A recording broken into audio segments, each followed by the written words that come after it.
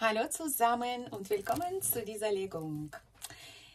Ja, es ist nun mal soweit. Ich hoffe, es geht euch gut, dass wir mal wieder schauen, was in seinem Leben wegen dir passiert. Was gibt es für Neuigkeiten, Breaking News? Was gibt es für neue eventuell Lebenseinstellungen? Für ähm, interessanten Geschichten? Und ja, das darf heute wieder mal sein. Du darfst jetzt an eine Person denken, die dich interessiert. Du kannst auch seinen Namen laut sagen. Und heute ist ein Spiegeldatum äh, und auch ein Portaltag, Vollmond und Jungfrau. Die Energien sind mega, mega bombastisch. Ach, übrigens, ohne Mikro finde ich das sogar viel, viel angenehmer und ich finde, der Sound äh, passt ja so oder so. Ja, mir wurde schon mal geschrieben, ihr merkt kaum Unterschied, ja, außer dass es nicht dazwischen irgendwas passiert, wo man sogar gar nichts mehr versteht. Also ich finde, vielleicht ist das tatsächlich die Lösung vom Universum. Ich hatte wirklich jahrelang eine Lösung gesucht. Ja, ich hatte auch äh, kabellose Mikrofone, die dann da verräterisch den Geist aufgeben und wo ich mag das überhaupt nicht, wenn ich meine Zeit investiere, wenn ich äh, Karten lege und dann kommt so ein Fauxpas. Nee, sofort in die Mülltonne, das geht nicht. Ja, also das ärgert mich wirklich. Ich arbeite ungern umsonst. Und das darf nicht passieren. Und dann gab es einen wie heißen die, diese Yeti-Mikrofone. Aber den fand ich auch zu doof, weil er zu viel wahrnimmt, ja. Na gut. Apple, ich liebe Apple sowieso. Ja, ich bin die Erste, die immer wieder hinter Steve Jobs stand und ich war immer begeistert. Ich weiß noch, wie das so war, als ich das erste Mal die erste Mail in der S-Bahn abgerufen habe, hatte. Ja, und ich hatte geweint. Ich wusste, dass das wirklich etwas bedeutet für die Menschheit, dass wir so weit sein werden. Ich habe das einfach damals verstanden, was das für eine heftige Transformation sein wird für die ganze Menschheit. Ja, wie gesagt, Steve Jobs ist auf jeden Fall ein cooler Typ als Mensch hatte er da so seine Macken gehabt, ja, sehr schizoid unterwegs und nicht nur das, aber man kann vieles über ihn erzählen. Ah, der war eben Außerwelt für eine Mega-Geschichte, ja. Ein Magier, ein Visionär, auf jeden Fall eine interessante und mega inspirierende Persönlichkeit. Heute habe ich Logorö, das heißt, ich habe Redebedarf. Ja, meine Tochter sagte heute, Mama, du darfst dich jetzt austoben. Wir fahren weg. Habe meine Kinder verkauft und genieße einfach diesen Portaltag mit euch. An all die Seelen, die meine Legung genießen, bitte gebt es mir zu wissen in Form von einem gelben Herzen und in Form von einer Rose. Irgendwie möchte ich heute Blumen bekommen von euch. Vielen Dank. Und natürlich bitte liken, abonniert meinen Kanal und aktiviert die Glocke. So, jetzt nun mal zu seiner Wenigkeit. Wir sagen heute Wenigkeit. Wir sind demütig selbst und wir schauen auf einen Mann, der da sein Leben hoffentlich genießen kann. Ja? Hoffentlich, denn hier kommt Justice. Und Justice is the Magician and the Hanged Man. Das hört sich nach ähm, heftig an. Ja? Nach heftig an, sodass er hier wirklich dazu motiviert ist, all seine magischen Künste zu zeigen, ja, wie der Steve Jobs zu sein und so um die Ecke zu denken, dass keiner ihm etwas überhaupt zu sagen hat, ja, und wenn jemand etwas zu sagen hat, dann bekommt dieser Mensch einfach, einfach, einfach, was bekommt er? Was bekommt er? es können viele, viele Momente sein, ja, je nachdem, je, je nachdem, wie aggressiv er ist, ja, könnte er eines auf ähm, etwas bekommen. Ähm, aber wie sagt man, auf die zwölf? Genau, auf die zwölf. Ähm, oder mh, mm, er könnte diese Person gar ignorieren. Ja, das ist wie so einer, du weißt nie, äh, was dieser Zauber aus seinem Hut rausholt. Ist es ein Kaninchen oder ist es eine tote Ratte? Man weiß es nie, ja. Äh, und alle sitzen da und lassen sich einfach überraschen. Und wenn die Überraschung gelingt, dann wird applaudiert und zwar laut, expressiv und ja, alle freuen sich auf die Show. Okay, äh, wenn ich jetzt hier nicht mehr weiter blödle, was heißt das? Die Person sieht seine Welt jetzt mit ganz anderen Augen. Entweder hatte die Person jetzt die Brille ausgetauscht, ja, jetzt hat er vielleicht eine stärkere äh, Stärke bekommen für seine Gläser, ja, so er da genauer sieht. Aha, ich erkenne dich jetzt nicht mehr, ja, du Freund oder meine Freundin und meine Mutter, ja, du hast dich aber verändert, hast du mit dir etwas machen lassen. Also wirklich, hier ist einer, der sowas von durch, ähm, durch Wäschetrommel, Waschtrommel oder Wäschetrommel, wie sagt man dazu, ja, in der Waschmaschine, Waschtrommel, ähm, geschleudert wurde, sodass da seine Gehirnzellen sich neu kombiniert haben, neu gruppiert haben, ja, sodass seine Welt jetzt ganz anders aussieht, als es noch gestern war. Oder vorgestern weiter in die Vergangenheit möchte ich nicht gehen. Was gab es denn hier Erschütterndes? Was gab es hier von oben Gesandtes? Eine erleuchtende Geschichte. Klarheit und Organisation. Ich sag dir, die Gehirnzellen, die haben sich neu organisiert. Und die Menschen, die glauben nicht an die Neuroplastizität. Na, das gibt es eben, sage ich euch. Und das ist hier ein Beispiel, das habe ich jetzt sogar durch Kartenlegen auch bestätigt. Ja, Neuroplastizität gibt es. Klarheit. Was wurde ihm denn klar gemacht durch die höhere Macht? Dass er Einfallsreichtum braucht, ja, damit sein Leben noch besser funktioniert. Vielleicht war er in so einer Schaffenskrise und dachte sich, ach, ich muss nicht so einfallsreich sein, ich bin doch so schlau genug, ja, ich äh, rocke diese Welt. Ich reite die ja auch, wenn ich nachts einfach schlafe und vor mir hin so schnarche, reite ich diese Welt sowieso. Aber das war nun mal hm, eine falsche Denke, denn das hatte mit der Realität leider kollidiert ja. Und da muss er jetzt wirklich umsortieren in seinem Kopf. Er muss jetzt auf andere Lösungen kommen. Er muss jetzt wirklich ein Querdenker sein. Vielleicht hat er genug Talent, wer weiß. Vielleicht hat er auch Intention, ja. Vielleicht bekommt er diese auch. Was gibt es denn hier? Ich bin schon so gespannt, was das für einen Draht zu dir ergibt. Ich hoffe, einen heißen Draht. Hier kommt Belehrbarkeit, ja. Er wird hier ganz schön belehrt vom Universum selbst. Du hast damit nichts zu tun. Das ist gar nicht dein Bier. Ne? Da brauchst du nichts ähm, zu denken, dass du hier irgendwie falsch unterwegs warst.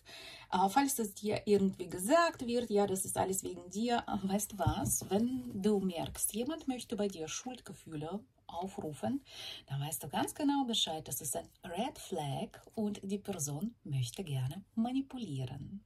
Ja, dann überleg dir mal, okay, was ist denn deine äh, an sich äh, Motivation?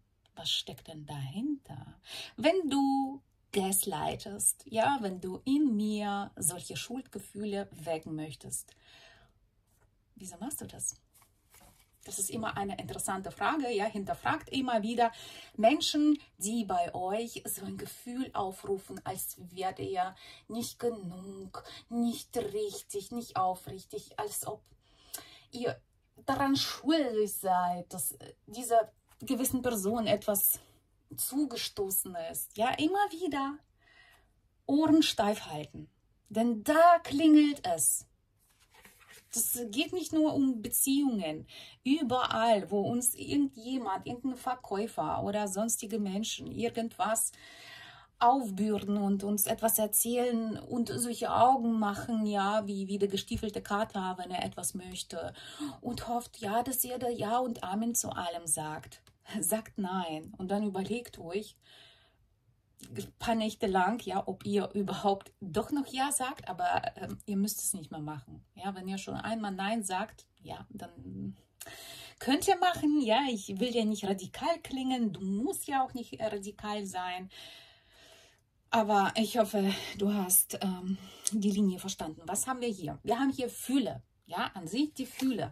Gut, ich meine, ganz kleinen Detail können wir ja gehen, das haben wir gemacht, aber das sind ja nun mal seine Lebensprozesse und er darf damit klarkommen. Ich sagte, das ist nicht deins, ja. Und hier nochmal Bestätigung. An sich ist sein Kühlschrank auch voll, ja. Er lebt ganz gut, er hat genug Geld, ne. Du brauchst da nicht äh, mit irgendeiner Suppe bei ihm ankommen und sagen, vielleicht hast du drei Tage nicht gegessen, vielleicht hast du dich zwei Wochen nicht gewaschen.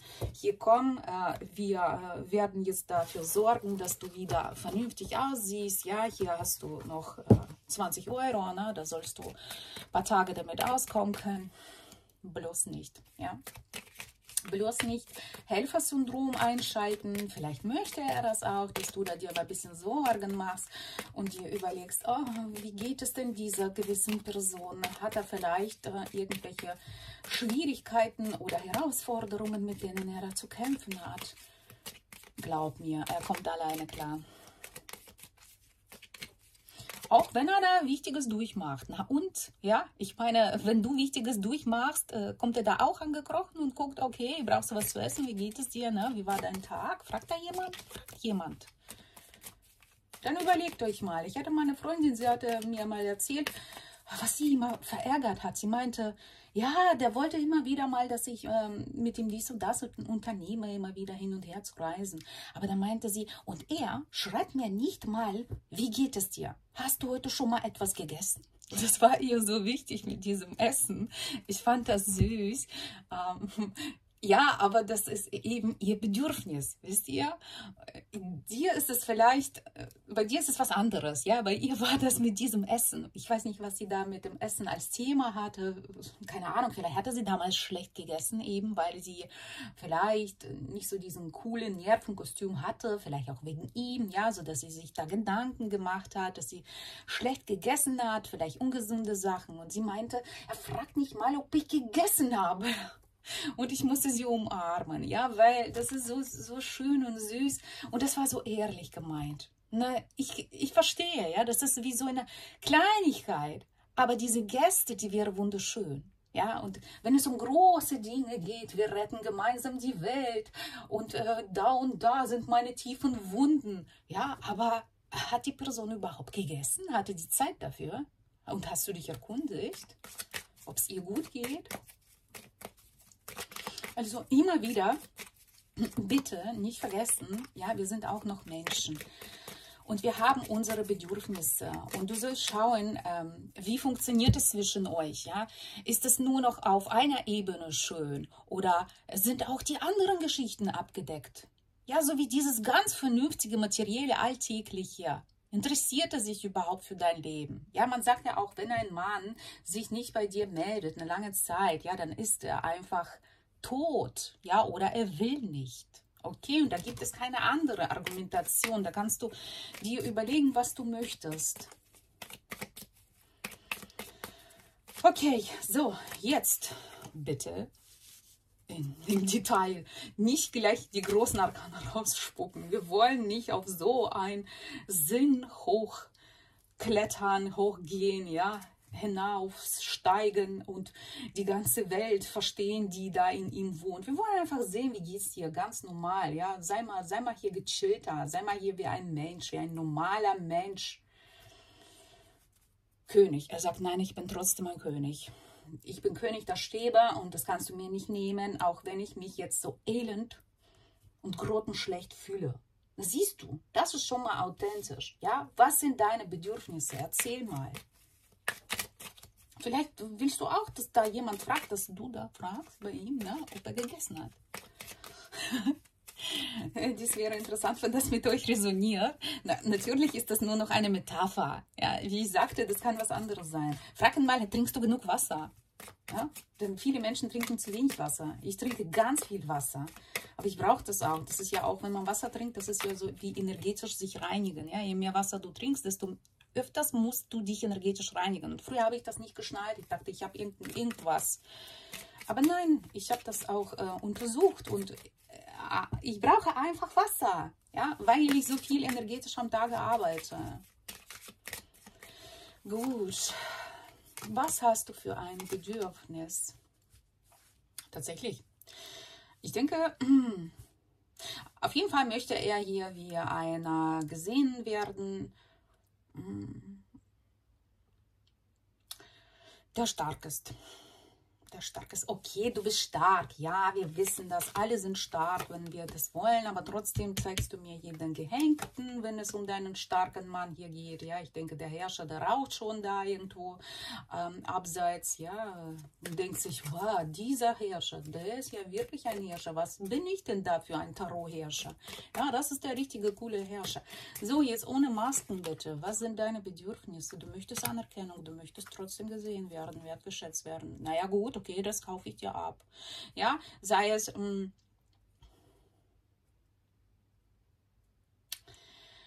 er möchte, dass du ihm irgendwie signalisierst, dass er wertvoll ist für dich. Ja, jetzt mal alle runter vom hohen Thron, Ros, ja, alle runter, runter, barfuß, wir stehen alle auf der Erde. Ja, wir haben alle unsere Allüren, das wissen wir alles. Hier soll der Austausch stimmen. Inwieweit? Inwieweit? Sagt mir mal. Friedvoll.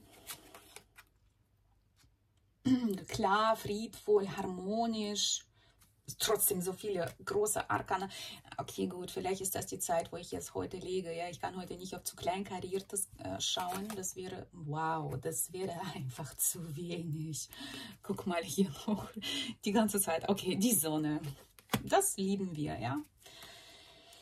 Die Sonne, die Klarheit, die Harmonie will ich haben. Ich möchte, ähm, dass sie meine Stärken sieht dass sie sieht, dass ich mich auch anpassen kann, dass ich mich verändern kann. Was soll sie noch sehen?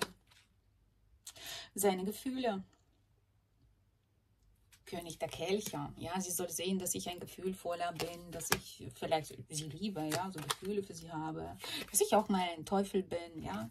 Ich habe einiges in mir so drin, ja, ich äh, könnte sie überraschen, eventuell. Das ist übrigens drei der Stäbe. Was willst du mir mit dieser Geschichte zeigen? Was hast du da für Pläne? Was hast du da für Pläne? Was willst du da behalten? Du willst deine... Warte mal, was ist das? Was willst du behalten? Kontrolle? Kontrolle will er behalten. Kontrolle über euch beide.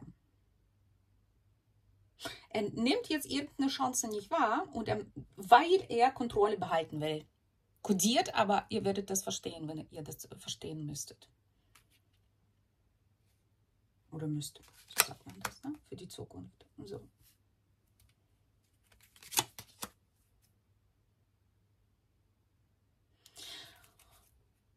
Ja, als ob hier einer so überlegt ist, dass er sich sagt, ähm, muss das Ganze hier unter Kontrolle halten und alles genauer sogar planen, denn erlaubst du dir denn keine Fehler? Erlaubst du dir keine Fehler? Ich bin zu weise, um mir Fehler zu erlauben. Er, er erlaubt sich tatsächlich keine Fehler. Interessanto, muy interessanto. Wieso erlaubst du dir keine Fehler? Aus welchem Grund? ¿Por qué, Señor? El Señor Pomidor. ¿Por qué?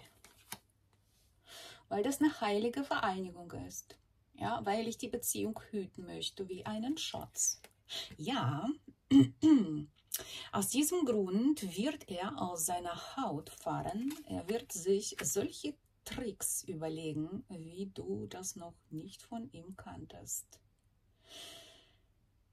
Und das Universum und die höhere Macht wollte ja sowieso, dass er sehr einfallsreich wird, damit er aus dieser Geschichte hier überhaupt rausfahren kann und dann ohne gegen die Wand zu fahren. Nur die Liebe wird dich befreien. Lass all das Alte los, damit eine neue Liebe in dein Leben treten kann.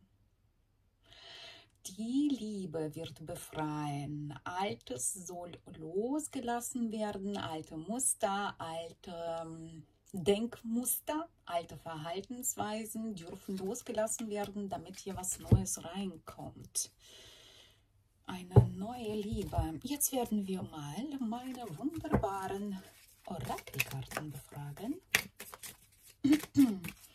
Du kannst auch an irgendeine Situation jetzt denken, was dich brennend interessiert oder irgendeine Frage selbst formulieren. Und oft gelingt es, dass ich dir dann diese durch die kommenden Antworten beantworten kann. Ja, hier gibt es äh, Folgendes dazu zu wissen. Du sollst die Herausforderung akzeptieren und in deine inneren Ressourcen, an deine inneren Ressourcen vertrauen denn ähm, du denkst dir vielleicht, äh, das ist so anstrengend, das ist zu viel, das schaffst du nicht. Doch, du schaffst das, wenn du es akzeptierst.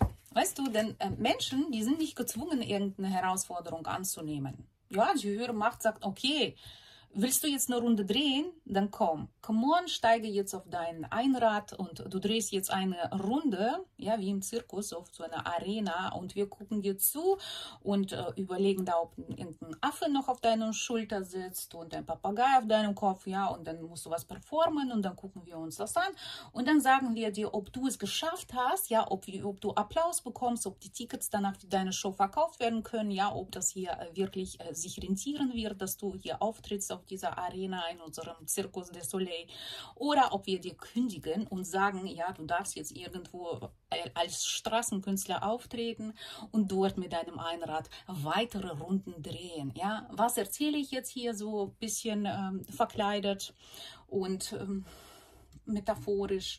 Es geht natürlich um Sansara. Ja, das ist wie so, so ein mm, Schicksalskarma Rad. Ja, es dreht sich, es dreht sich, es dreht sich. Die Menschen, die deren Lektionen nicht lernen, die dürfen die erste Klasse wiederholen und die werden äh, wieder auf noch eine härtere Tour mitgenommen. Ja, und da dürfen die Konzerte geben, dann dürfen die überall sich zeigen und deren Künste präsentieren. Aber wenn die schlecht waren, wenn die ausgebuht wurden, dann dürfen die die Show nochmal und nochmal und nochmal aufführen. Ja, das ist immer an uns, wie schnell wir unsere Lektion lernen.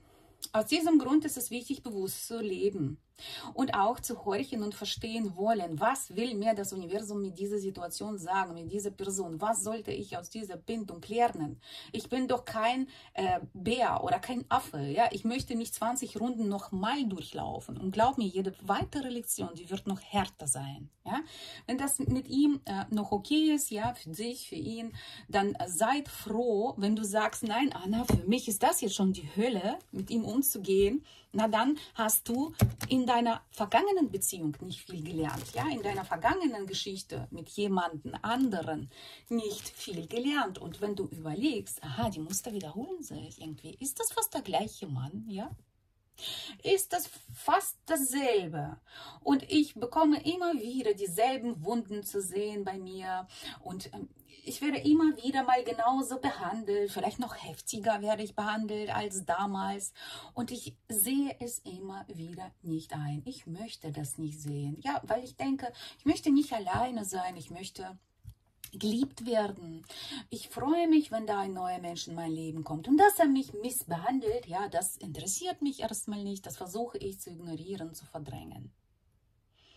Das geht nicht. Und auch wenn diese Person, auf die du heute schaust, deren Lektionen nicht lernt, dann darf er wirklich auftreten. Ja, was denkst du? Die Artisten, die werden immer wieder gebraucht. Die Hörermacht freut sich nur noch. Ja, das sind die größten äh, Typen, die, die, die sich da wirklich alles ablachen, wenn die uns beobachten. Wenn ich mit der höheren Macht rede, dann frage ich die manchmal, und? Habt ihr gut gelacht? War das schön für euch? Oder ich sage dann zu denen, das habt ihr aber mega hammer konstruiert. Das war ein Drehbuch. Ja, und ich, ich spüre, wie, wie die wirklich lachen, wie, wie die mich ermuntern. Ähm, weiter, weiterhin irgendwas dazu zu sagen, irgendwie meines fünf Cent dazu zu geben. Ja, also die sind wirklich, die lieben Kunst. Ja, die lieben das Ganze, was auf der Erde passiert. So, was kommt denn hier? Du bist geliebt. Siehst du?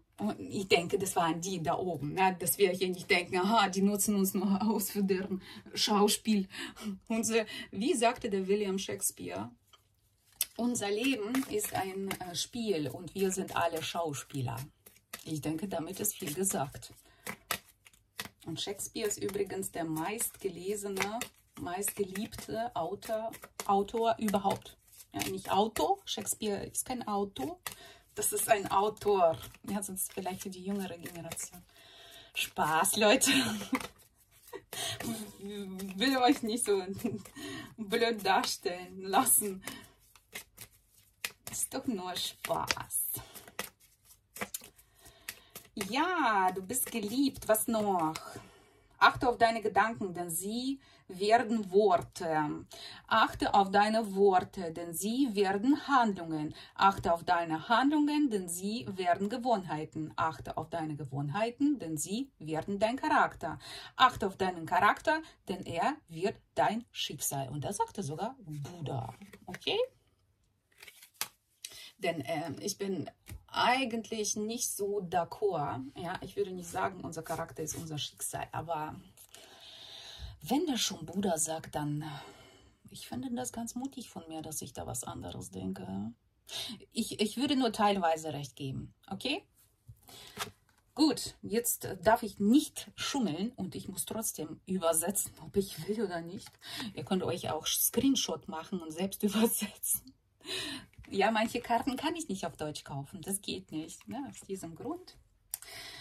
Äh, Englischunterricht. Ich hoffe, meine Englischlehrerin schaut mir immer zu. Tanja, falls du das bist, doch, dich habe ich auch gemeint. Ja, das ist dann Privatunterricht, aber gut, lange nicht mehr gehabt. Ich meine, ich hatte ganz viele nette Englischlehrerinnen, die mir sogar Geschenke geschenkt hatten damals, weil ich Englisch so geliebt habe. Ich liebe generell Sprachen und ich bin so fanatisch gewesen, dass die dachten, oh, du bist fast meine Lieblingsschülerin.